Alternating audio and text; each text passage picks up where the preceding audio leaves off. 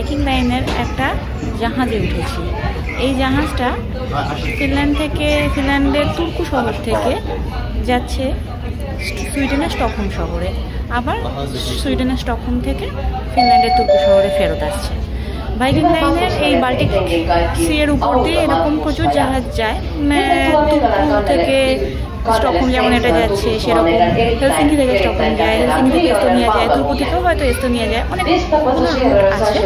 তো এটা একটা কমন রুট মোটামুটি টাইম লাগে রাত্রির পনেরো নটার সময় শুরু হলো? স্টার্ট হলো? তো যেতে যেতে পরদিন ভোরবেলা সাতটা নাগাদ পৌঁছে যায়।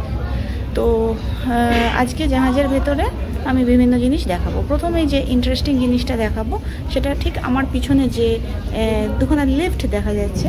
ওই লিফটের মাঝখানে একখানা সাদা রঙের বোর্ড রয়েছে। ওই বোর্ডটা দেখলেই বোঝা যাবে জাহাজের কোন তলায় এগুলো হচ্ছে বেশ বড় জাহাজ। ডেফিনেটলি টাইটানিকের মতন অত বড় নিশ্চয়ই নয়। বা যাই হোক তবে বেশ বড় জাহাজ মানে জাহাজ মানে সত্যিই বেশ বড় জাহাজ এবং এগুলোর অনেকগুলো তলা থাকে, মোটামুটি দশতলা এটা দশতলা আমি বারোতলা জাহাজও দেখেছি।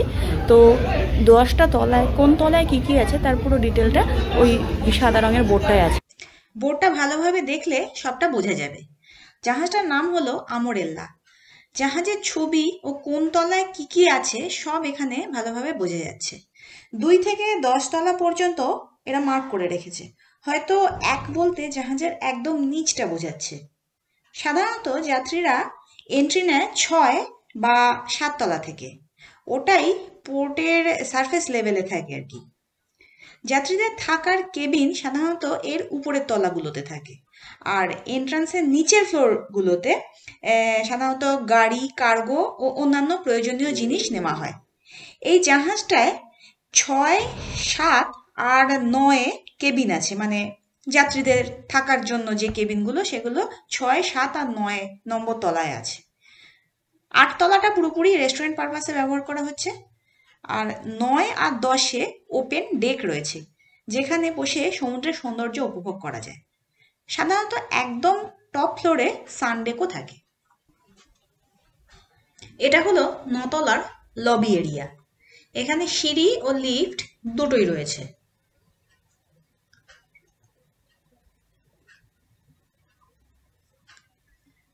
পাশে করিডোর দিয়ে ঢুকে গেলে পরপর কেবিন। ছয় বা সাত নম্বর তলাতে এই লবি অঞ্চলেই বাইরে বেরোনোর মেন গেট থাকে। এখান দিয়েই সবাই জাহাজে ওঠে আর জাহাজ পোর্টে পৌঁছানোর সময় এখানেই সবাই জড়ো হয় নামার জন্য।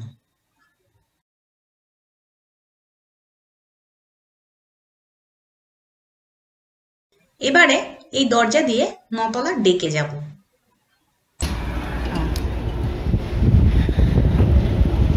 এখন অটাম চলছে, সেই কারণে এখনও বরফ পড়েনি যেখানে ডেক স্লিপারি নয় এটা একটা ভালো।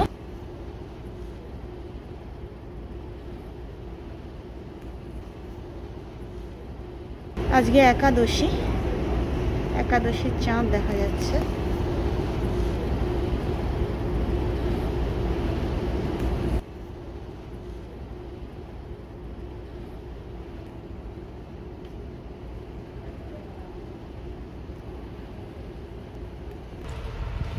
যে জায়গাটা দিয়ে যাচ্ছি সেটা ডেকে যাবার একটা রাস্তা বলা যেতে পারে।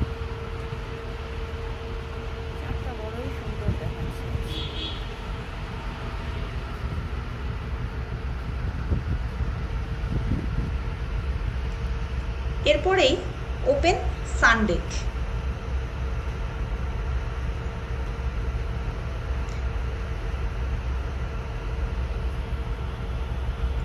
এই ওপেন ডেকটায়, বিশেষত সামারে, সবাই বসে থাকে, সমুদ্রের হাওয়া খায়। খুব সুন্দর লাগে সামারে এই জায়গাটা।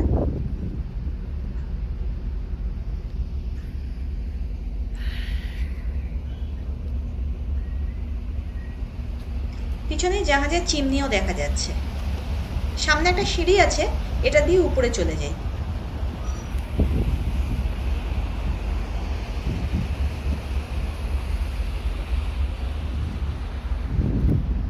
এখন এটা সান আর্ধেক না বলে মুন্ডেকও বলা যেতে পারে। ভারী সুন্দর চাঁদের আলোটা রিফ্লেক্ট করছে জলে।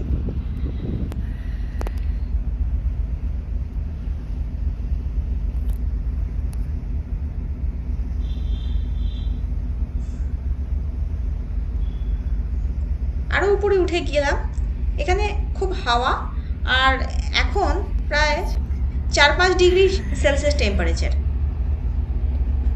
তাই বেশ ঠান্ডা লাগছে।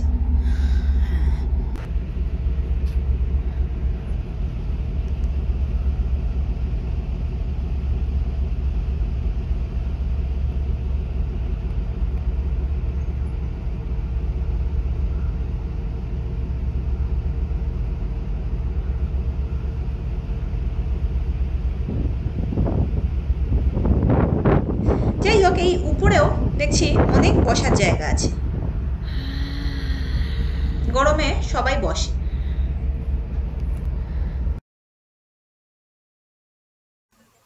সামারের টাইমে ডেকে সৌন্দর্যটা হয় এরকম। আর বরফের সময় এইভাবে ডেকে বরফ ছড়িয়ে থাকে।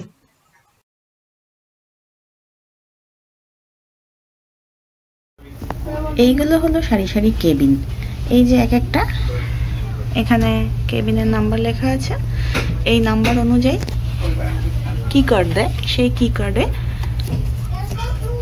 এই যে, এই হচ্ছে একটা কি কার্ড কি কার্ডের নাম লেখা আছে এবং কি কার্ডের নাম লেখা আছে এবং কেবিন নাম্বার লেখা আছে। ম্যাগনেটিক কি কার্ড এই ধরনের লকগুলোতে চলে। তো এইগুলো এক একটা কেবিন।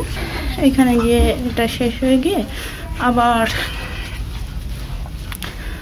এই দিক থেকে আবার অনেকগুলো কেবিন শুরু হয়ে গেছে। এই হচ্ছে পুরো কেবিন ভিউটা।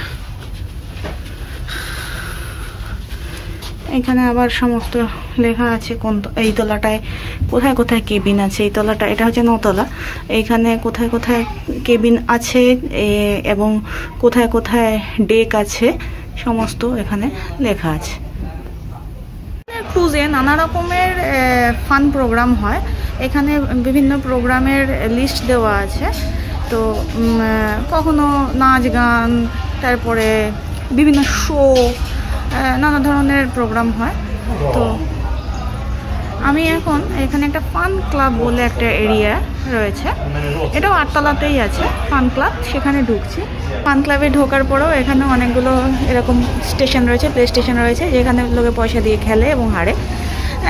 অবভিয়াস সেটা।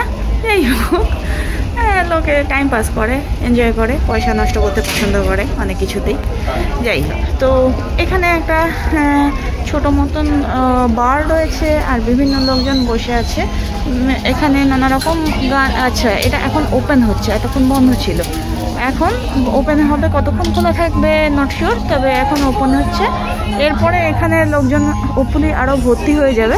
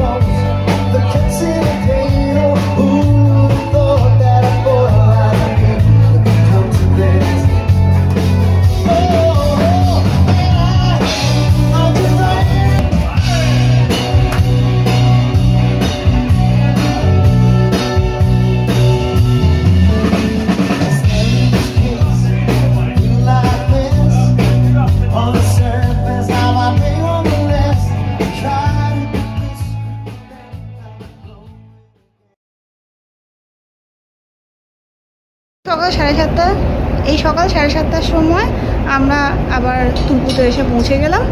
তো এখন জাহাজ থেকে নেমে যেতে হবে। তবে আমি হয়তো আশা করছিলাম আমরা একটু সূর্যোদয় দেখতে পাবো, কিন্তু সূর্যোদয় কিছুই হয়নি। ঠিক আছে, যা হয়েছে সেইটুকুনি দেখানো যায়। ওই দূরে হচ্ছে সূর্যোদয় হবে।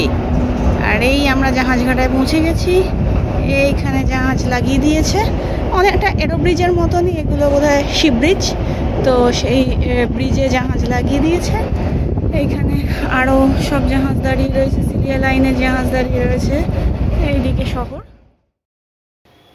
Once I enjoyed cruise trip from seashore city named Turku of Finland to the capital of Sweden Stockholm the cruise went from Turku to Stockholm and returned. There are several such cruise trips uh, on the Baltic Sea.